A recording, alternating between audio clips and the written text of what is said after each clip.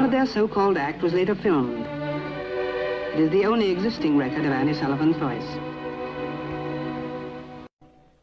When I saw Helen Keller first, she was six years and eight months old. She had been blind and deaf and mute since her 19th month as the result of an illness. She had no way of communicating with those around her except a few imitative signs that she had uh, made for herself. A push meant go and a pull meant come and so on. She had observed that we did not use the hands when we were talking to each other. And I let her see by putting her hand on my face how we talk with our mouths. She felt the vibration of the spoken word. Instantly, she spelled, I want to talk with my mouth. That seemed impossible. But after experimenting for a time, we found that placing her hand in this position the thumb resting on the throat, right at the larynx, the first finger on the lips, the second on the nose, we found that she could feel the vibration of spoken words.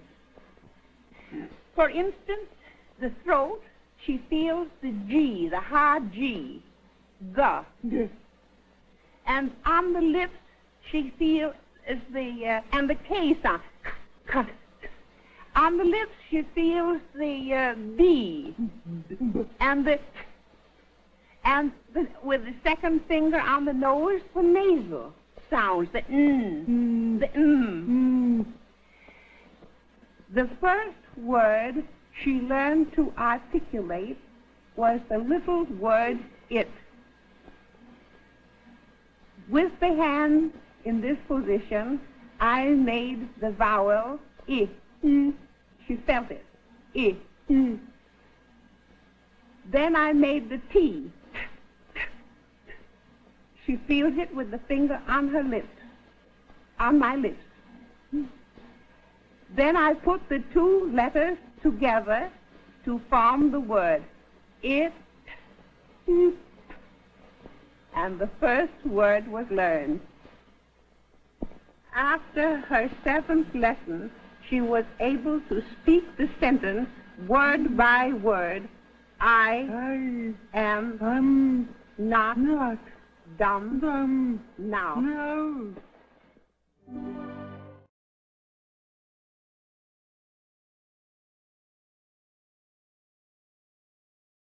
Excerpt from Chapter 4 The most important day I remember in all my life is the one on which my teacher, Anne Mansfield Sullivan, came to me. I am filled with wonder when I consider the immeasurable contrast between the two lives which it connects. It was the 3rd of March, 1887, three months before I was seven years old. On the afternoon of that eventful day, I stood on the porch, dumb, expectant, I guessed vaguely from my mother's signs and from the hurrying to and fro in the house that something unusual was about to happen, so I went to the door and waited on the steps. The afternoon sun penetrated the mass of honeysuckle that covered the porch and fell on my upturned face. My fingers lingered almost unconsciously on the familiar leaves and blossoms which had just come forth to greet the sweet southern spring. I did not know what the future held of marvel or surprise for me, Anger and bitterness had preyed upon me continually for weeks, and a deep languor had succeeded this passionate struggle. Have you ever been at sea in a dense fog, when it seemed as if a tangible white darkness shut you in, and the great ship, tense and anxious, groped her way toward the shore with plummet and sounding line, and you waited with beating heart for something to happen? I was like that ship before my education began, only I was without compass or sounding line, and had no way of knowing how near the harbor was. Light, give me light, was the wordless cry of my soul, and the light of love shone on me in that very hour. I felt approaching footsteps. I stretched out my hand, as I supposed, to my mother. Someone took it, and I was caught up and held close in the arms of her who had come to reveal all things to me, and, more than all things else, to love me. The morning after my teacher came, she led me into her room and gave me a doll.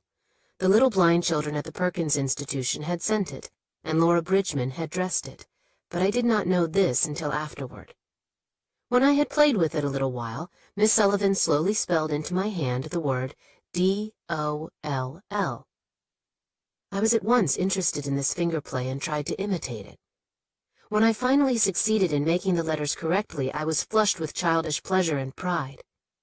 Running downstairs to my mother, I held up my hand and made the letters for doll. I did not know that I was spelling a word or even that words existed. I was simply making my fingers go in monkey-like imitation. In the days that followed, I learned to spell in this uncomprehending way a great many words, among them pin, hat, cup, and a few verbs like sit, stand, and walk. But my teacher had been with me several weeks before I understood that everything has a name. One day, while I was playing with my new doll, Miss Sullivan put my big rag doll into my lap also, spelled D-O-L-L, and tried to make me understand that D-O-L-L applied to both.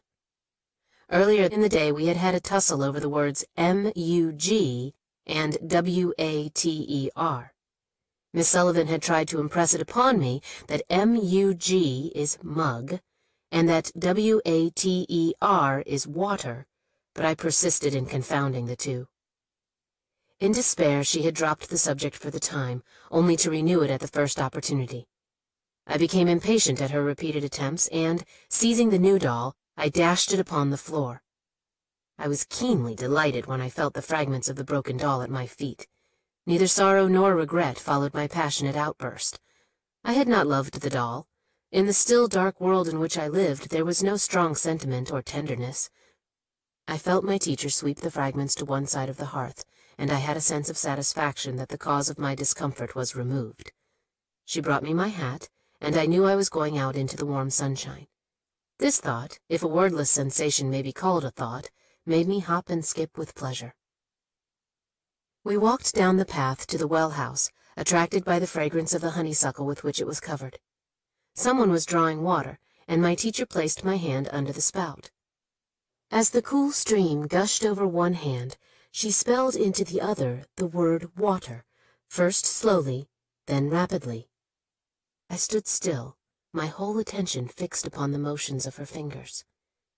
Suddenly I felt a misty consciousness as of something forgotten, a thrill of returning thought, and somehow the mystery of language was revealed to me.